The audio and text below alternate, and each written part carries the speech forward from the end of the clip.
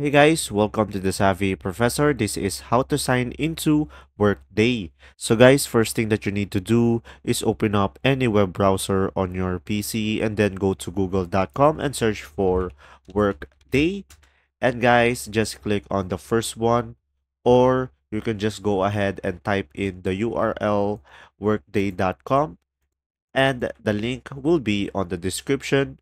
And from here guys, this will be the home page of Workday. And in order for you to sign in, just click on this icon over here. And then from here, guys, just click on more information. And as you can see, guys, in order for you to log in into Workday, you need to reach out to your HR or IT department for a link to your company unique sign in page. So guys, you need to ask for your company name to have to send you a link to log in into your account.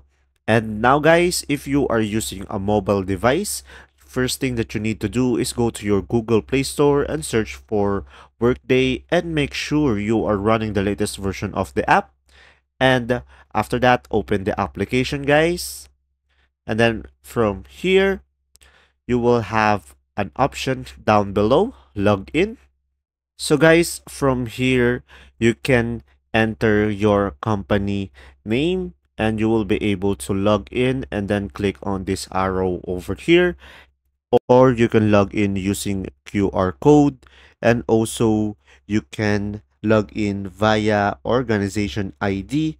So first thing that you will need to do eh, to log in or see your organization ID is go to your profile menu, my account, and then organization ID. And then from there, you'll be able to log in using your organization ID, or you can ask a coworker to get the ID for you in their Workday mobile app. And there you go. If this video was helpful, please like and subscribe and thanks for watching guys. See ya!